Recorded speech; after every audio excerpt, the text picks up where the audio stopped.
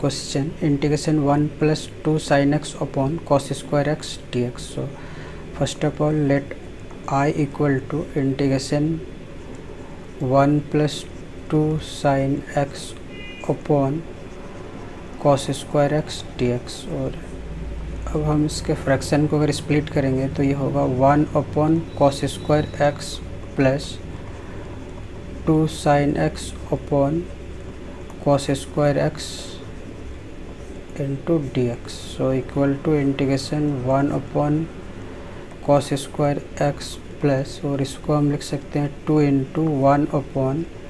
cos x into sine x upon cos x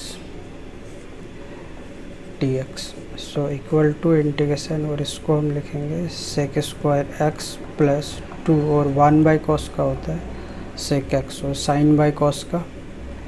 tan x d x so equal to integration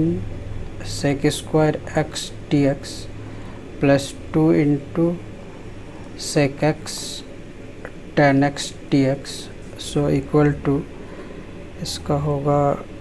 ten x plus two और इसका sec x plus c so which is our required answer